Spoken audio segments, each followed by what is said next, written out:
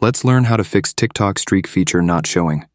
TikTok recently add new streak feature like Snapchat have, and that feature doesn't have yet to you.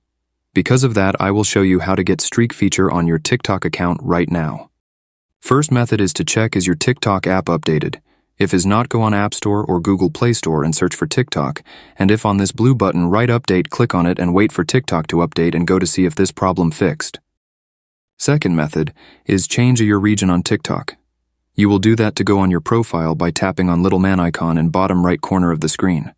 Once you are come on profile menu, go to click on three horizontal lines in top right corner of the screen. That will open a pop-up menu on which has a five different options on which you need to click on last option settings and privacy.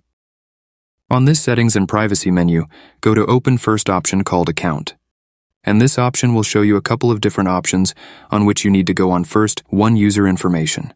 And that will show you also a couple options, and you need to go on last one account region.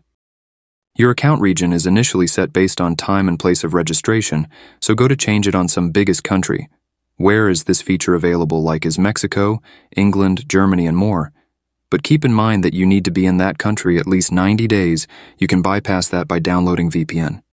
And the third and last method is to report a problem to TikTok community. You will do that by again click on three horizontal lines in top right corner of the screen. And on this pop-up menu, go again on last option settings and privacy. Now on this settings and privacy menu scroll all the way down until you see support and about section. And on that section open report, a problem option. On this menu you can solve all problems on TikTok, but for this problem don't have option to fix. Only we have to turn to TikTok. So scroll all the way down until you see chat with as option, and when you see click on it.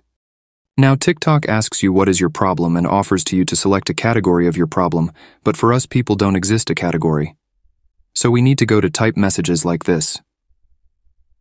Hello TikTok, I'm doesn't have streak feature yet. Can you fix that for me? Thanks. And TikTok community text us to share details of our problem. But watch this steps carefully because is important, so go to click on submit a ticket.